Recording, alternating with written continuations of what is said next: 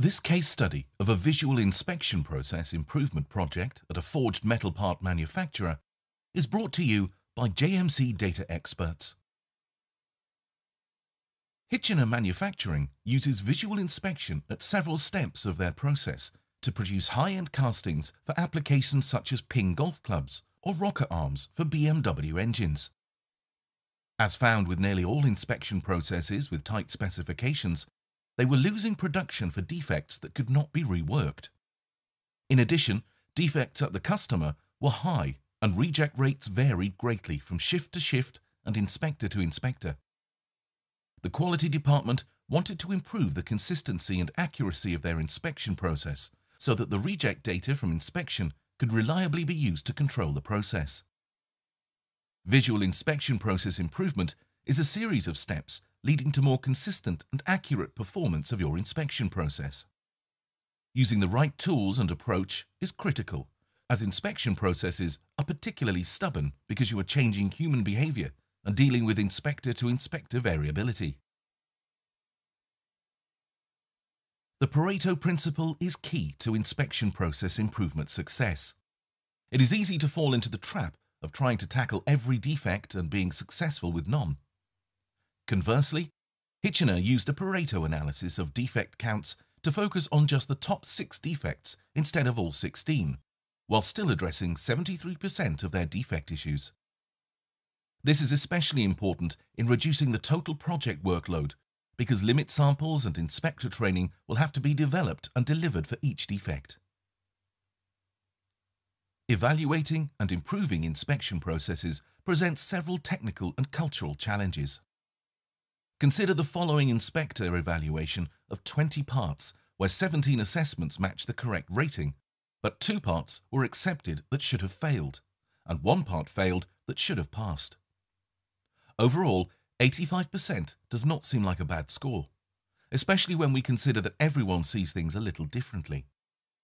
On the other hand, the inspector will get 50% of the assessments correct just by chance. It is also very common to learn too late in the project that finding the defect in production and evaluating it are two separate tasks to be addressed independently. Confusing or combining them often leads to failure in both objectives. Finally, most projects face the hurdle of the we're doing okay, why don't we just leave it alone logic.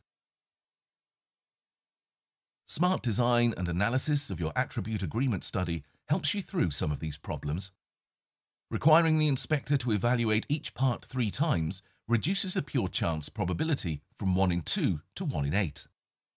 Secondly, kappa is a test measurement that evaluates agreement in the data, independently of the random chance agreement. 50% correct assessments results in a kappa score of 0. Kappa essentially removes the luck factor from the results.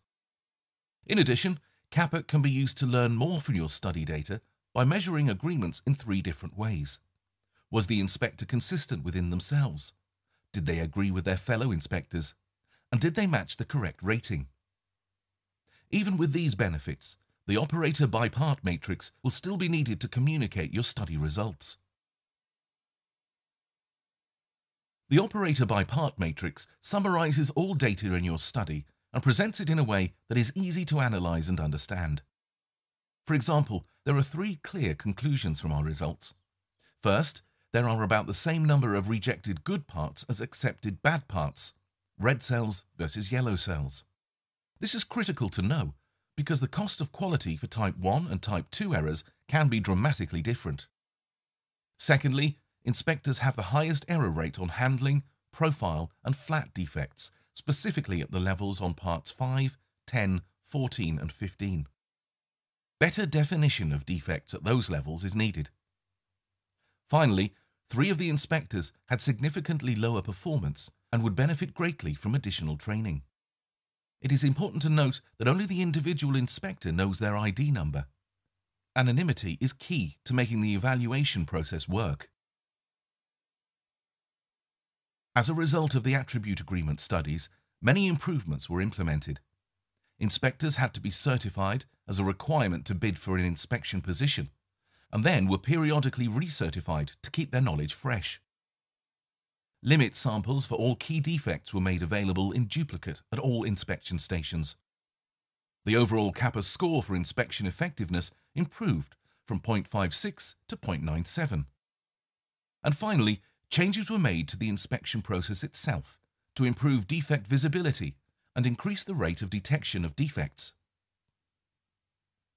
Both quality and production were very pleased with the performance results from the inspection improvement project. Implementation of the new inspection process had its ups and downs and required more than three months to work out the details.